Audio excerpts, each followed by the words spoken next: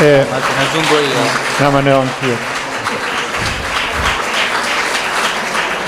Eh, ricordo a entrambi i candidati che non hanno ancora usufruito della possibilità di utilizzare il diritto di replica, se lo ritengono opportuno.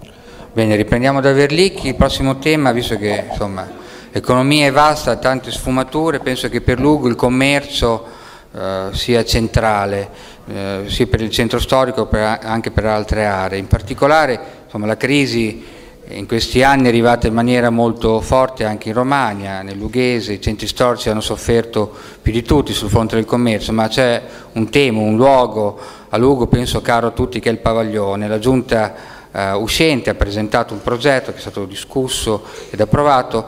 Io vorrei capire dai due candidati cosa ne pensano di quel progetto e se pensano invece che sul Pavaglione ci si possa mettere mano in maniera diversa. È vero, servono parecchie risorse oggi e questo è un altro tema delicato. Verlicchi. Beh, io non vorrei mancare di riguardo a chi ha lavorato attorno ad un progetto, non lo conosco, non so le regole pattizie, ma se è possibile abolirlo, lo abolisco domattina. Perché introdurre delle betulle all'interno dell'area del pavaglione mi pare veramente una cosa ridicola. Si parla di commercio, sono perfettamente d'accordo, ma il commercio c'è se c'è la produzione. Ora devi partire dall'agricoltura, devi partire dall'industria manifatturiera, artigiana e sicuramente il commercio.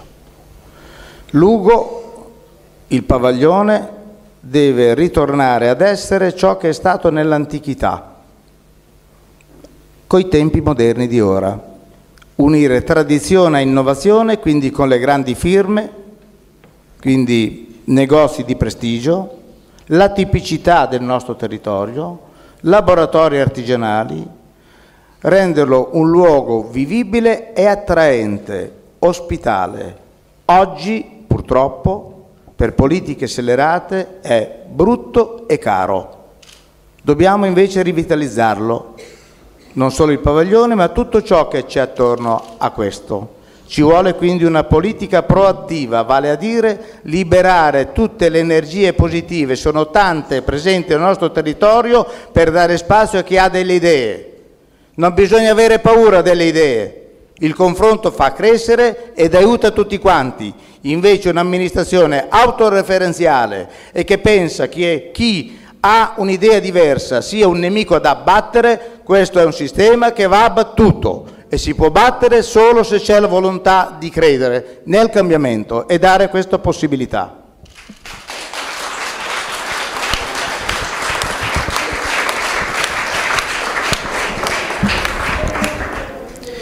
Ma io sul progetto delle betulle ho già diciamo, fatto un, una battaglia, una lunga discussione all'interno del, del nostro partito e, come devo dire, oggi siamo arrivati alla definizione di quel progetto e la valutazione, così come per andare avanti rispetto a quel processo, esattamente per tornare indietro, è una discussione che deve essere affrontata intanto all'interno del Consiglio Comunale e all'interno della Giunta. Io dico questo, noi abbiamo una grande opportunità e questa opportunità è data dal nuovo decreto Franceschini sulla cultura, sulla salvaguardia dei beni culturali.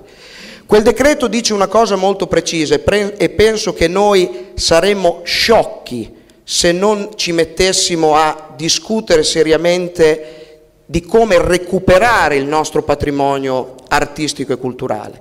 Quel decreto dice che finalmente Mettere insieme pubblico e privato per recuperare quei beni sarà molto più semplice, si potrà fare in tempi molto più rapidi. Franceschini l'ha chiamata una deregolamentazione. Io penso che mai come in questo caso la parola deregolamentazione sia una parola giusta.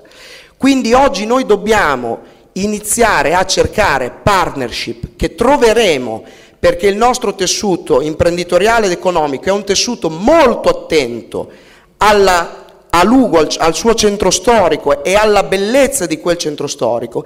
E insieme a loro attraverso un, un project financing, cioè andando a cercare a reperire risorse sia pubbliche che private, potremo finalmente portare a compimento quella ristrutturazione del pavaglione che è iniziata durante il corso di questa legislatura con il rifacimento del tetto. Il tema è per farci che cosa? Perché questo è il tema. Io penso che il pavaglione non debba solamente avere una vocazione commerciale, questo senza ombra di dubbio, ma tornare ad un pavaglione che possa ospitare al primo piano associazioni di volontariato, i rioni, tutti quei soggetti che hanno voglia di tornare a stare in centro possa essere un meccanismo e una motivazione per poter tornare a far vivere il nostro centro storico. Dico una cosa rispetto alla crisi del commercio, che è vero che non è stato fatto tutto quello che era in nostro potere da parte delle amministrazioni, forse per agevolare, questo diciamo è una riflessione che possiamo fare in ogni momento. Gran parte però delle difficoltà che oggi il commercio vive è dato dal fatto che molta gente oggi non ha più soldi da spendere e il punto sul quale ci si dovrebbe concentrare è il fatto di poter tornare a mettere qualche soldo in più nelle tasche dei nostri cittadini.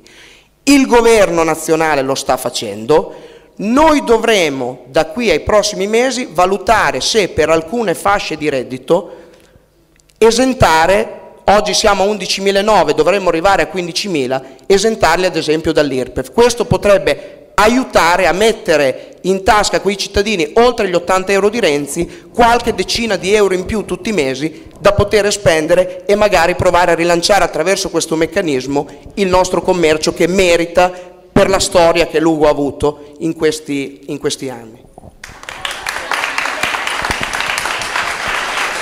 Questo